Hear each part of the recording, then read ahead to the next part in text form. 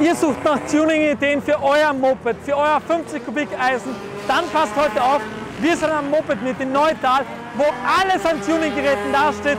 Von der einfachen Tunerei, Optik bis zum Hardcore-Tuning-Projekt ist heute alles dabei. Ich zeige euch die coolsten und schönsten Motorräder, die wir gefunden haben in 2022. Los geht's!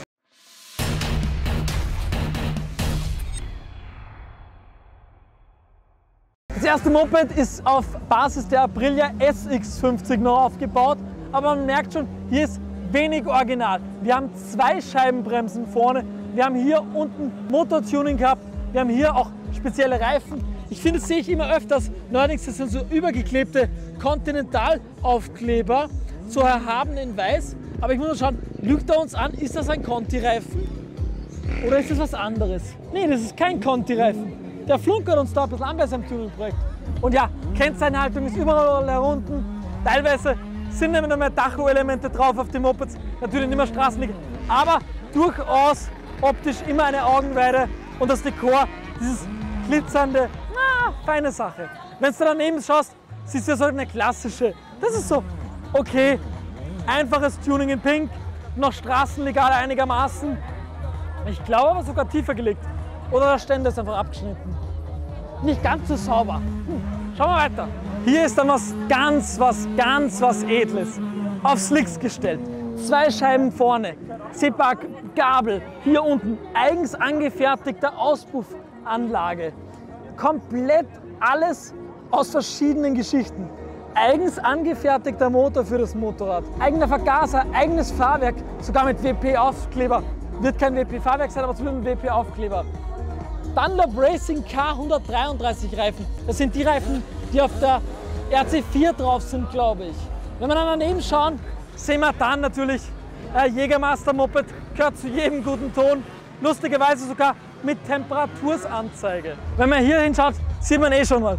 Kleine Hebel sind verbaut, andere. Radical Racing äh, für die Bremspumpe oben. Kleines optisches Tuning mit äh, Stickern drauf anderer Motordeckel, dass es ein bisschen mehr shiny ist, andere Fußrastenanlage, rote Kette, türkises Ritzel, rotes Kranzel, also alles sauber, feinst aufpoliert. Hier sogar schon ohne Ständer, damit es noch ein bisschen cooler wirkt. Natürlich haben wir einen anderen Lenker drauf verbaut, einen roten.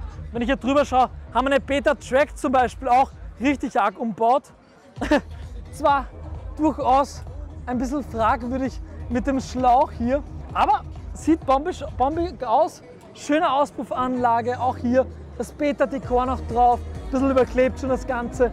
Hier für den Kühler einen dickeren Schlauch verbaut, der optisch ein bisschen mehr hermacht. Oben natürlich andere Griffe verbaut. Man merkt schon, hier ist richtig viel Geld reingeflossen in die verschiedenen Tuning-Projekte.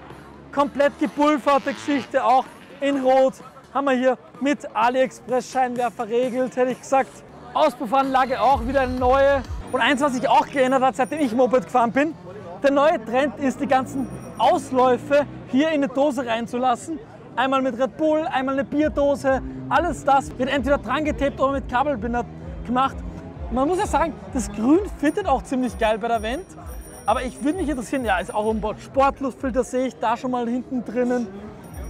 Es wird hier, glaube ich, an jedem Moped herumgeschraubt. Ich kann mich selbst noch erinnern, Ritzel, Kranzel tauschen, Luftfilter, anders Düser, in Vergaser eine, all das wird hier gemacht.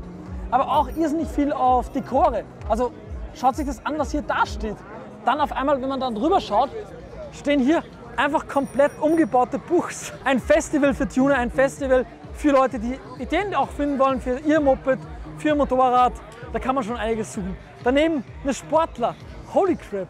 Alles Eigenbauten. Ich finde immer so geil, dass man mit wenig Geld viel machen kann. Geht mal zur WSP, schaut mal, was die da hinstellt. Da kostet die Panigale 50.000 Euro und damit kannst du hier fast den ganzen Fuhrpark tunen. Und das ist trotzdem einzigartig, so in der Form. Ich muss sagen, schaut nicht schlecht aus, oder? Für die Leute, die es ein bisschen ernster nehmen, gibt es natürlich hier die Slick-Abteilung, wo sie die kompletten umgebauten Mopeds auf Slick stellen für die Rennstrecke, für den Track hier, um dann einfach noch ein bisschen schneller zu sein, das sind halt dann wirklich komplett leistungsgetunte Mopeds, die dann auch, soweit ich weiß, die die zwei Rennen hier auf der Veranstaltung auch fahren. So, und wie erreicht ihr eure 40 PS für die Rennstrecke oder für das Track Race oder einfach für Standareal. Naja, Gearparts 24 hat alle Teile, die ihr benötigt, um euer Moped komplett aufzutunen, komplett zu verbessern. Eigens entwickelte Auspuffanlagen, eigens, eigens entwickelte Dekorsätze, Verkleidungsteile, Zubehörteile, Zylinder, Häfen, alles, Ritzel, Pranzel, das findet ihr bei Gearparts 24. Aber bei all dem Tuning gibt es dann auch noch mal originale Mopeds, die nur beklebt sind. Ich glaube, ja, okay, ist noch ein originaler Häfen drauf. 50 Kubik Aprilia SX. Originale Lichtmaske, alles straßenlegal. Soll es auch noch geben hier auf dem Moped Meet. Also ihr merkt schon, egal welche Kategorie du unterwegs bist, hier geht es einfach nur um Zweitakt, zwei Räder und alles andere ist komplett Profi. So, das nächste Bike setzt in der Optik auf Orange. Gepulverter Rahmen, Speichen in Orange, gepulverte Felgen und auch natürlich gepulverter Zylinder. Wichtig, MVD-Zylinder, Gearparts Kupplung und auch Gearparts Bremse, Kupplungshebel, Bremshebel, alles von Gearparts, komplett in Orange. Und noch was ganz Wichtiges, in der Optik Stage 6 Auspuffanlage. Hier sind möglich zwischen 19 und 20 PS circa am Leistungsprüfstand. Aber gerade im Moment läuft sie nicht so ganz. Man muss schauen, was sie hat, aber ich bin mir sicher, sie wird schnell wieder laufen. Ich muss auch sagen, von überall kommen sie her, aus Vorarlberg in dem Fall, also ganz österreichweit, Deutschland, kommen die Jungs und Mädels her, um zu zeigen, was sie auf ihre Mopeds draufbauen können und was sie daraus gebaut haben. Und das zeigt mal wieder, mit wenig Geld ist viel möglich. Ach ja, es gibt schon das ein oder andere Ranzmoped hier auf dem Platz, aber auch das ein oder andere Edeltuning, wo man wirklich sagen muss, da sind ein paar tausend Euro reingeflossen, damit das so dasteht. Oftmals viel, viel kleine Handarbeit, kleine Arbeiten und ganz, ganz viel Herzblut und das taugt mir eigentlich, dass die Community hier so zusammenhält, so gemeinsam dieses Event macht und dass sie einfach tunen. Einfach was Geiles. Nicht auf Legalität, nicht auf Euro 5 Normen, auf alles scheißen und einfach ihr schönes Leben hier leben und tunen. Und das ist auf jeden Fall mal ein Besuch wert. Das, das Moped mit in Neutal powered bei Gearparts 24. Ich war froh, dass ich hier war.